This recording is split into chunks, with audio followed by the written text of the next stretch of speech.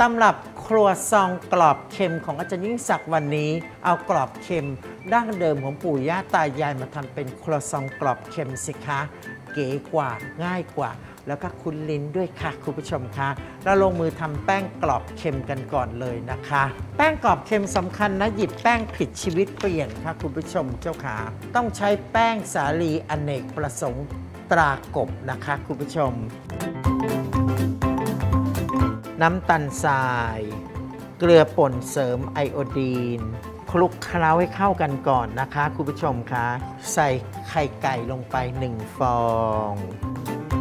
น้ำสะอาดนี่อยู่ตรงนี้นะคะ ผสมกับน้ำปูนใสลงไปนิดหนึ่งแล้วเราก็ใส่ลงไป จัดการตีให้ไข่แตกนิดหน่อยค่ะ ต้องบอกคุณผู้ชมว่าคุณผู้ชมต้องไปหาซื้อกล่องนี้ค่ะ คุณผู้ชมคะAustralian dairy free butter oil ไขมันวัวธรรมชาติ ผลิตจากส่วนผสมธรรมชาติ 99%นำเข้าจากออสเตรเลียตรา Peerless Foods พอเราละลายเสร็จเราก็เอาใส่ลงไปเห็นไหมคะ แบบนี้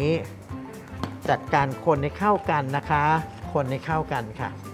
ไม่ต้องใช้มือนวดเลยนะคะ คุณผู้ชมคะแบบนี้ค่ะ พอมันเริ่มเข้ากันใช่ไหมคะ พักแป้งไว้ค่ะ เอาผ้าขาวบางชุบน้ำชื้นๆ แล้วก็คลุมปิดไว้ค่ะคุณผู้ชมคะลักษณะของแป้งที่ใช้ได้ก็จะเป็นลักษณะแบบนี้ค่ะคุณผู้ชม เราก็จัดการนำแป้งที่พักได้ที่เนี่ยมานวดนวลแป้งก็ใช้แป้งสาลีอเนกประสงค์ตรากบนี่แหละค่ะคุณผู้ชมคะโรยๆสักหน่อยหนึ่ง ต้องตัดครึ่งก่อนนะคะ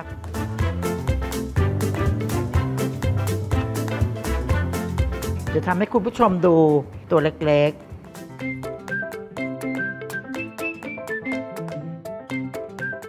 คุณผู้ชมก็เลือกเอานะคะ จะทำแบบโค้งงอ เหมือนเขาควายจริง ๆ หรือจะทำตัวตรงๆแบบนี้ พักไว้สักครู่หนึ่ง เดี๋ยวเรามาทอดให้กรอบค่ะ คุณผู้ชมคะเตรียมกระทะเลยค่ะ ใส่น้ำมันไว้นะคะ แล้วกระทะใบนี้อันนี้เป็นกระทะนอนสติ๊ก Platinum Chef 28เซนติเมตรทรงลึก IH ตราหัวมาลายค่ะอาล่ะน้ำมันร้อนได้ที่คุณผู้ชมคะทดลองใส่ครัวซองไปตัวหนึ่งก่อน โอ้ได้แล้วค่ะคุณผู้ชมค่ะ เรารีบใส่ไปเลย เพราะมันปุดๆอยู่ที่ตามตัวมินิครัวซองเรานะคะ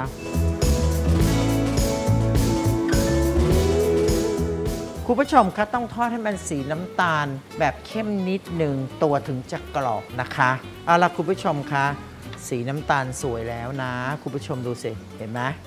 น่าทานเลยนะคะเสร็จแล้วค่ะคุณผู้ชมคะเรามาทำส่วนผสมของตัวปรุงรสกันนะคะ ใส่น้ำมันพืชลงไปนะคะนิดหนึ่งกระเทียมสับเมื่อก่อนเขาก็โขลกรวมกันแต่เรียนว่าสัดส่วนกะยามันดำปือหรือไปหมด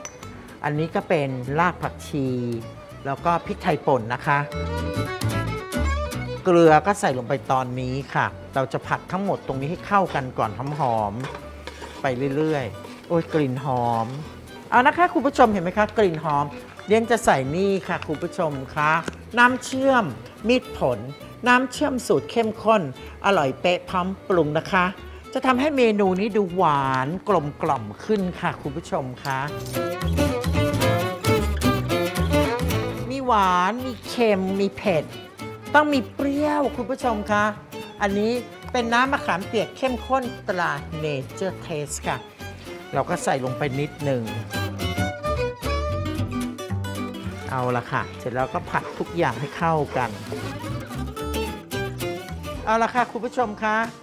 ได้ที่แล้วค่ะ เห็นไหมคะ เหนียวหนึบหนับแบบนี้นะคะ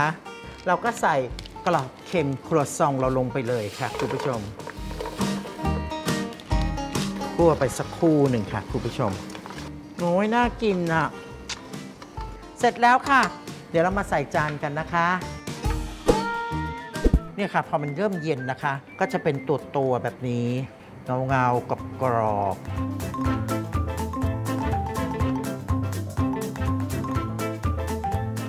ครัวซองกรอบเค็มค่ะ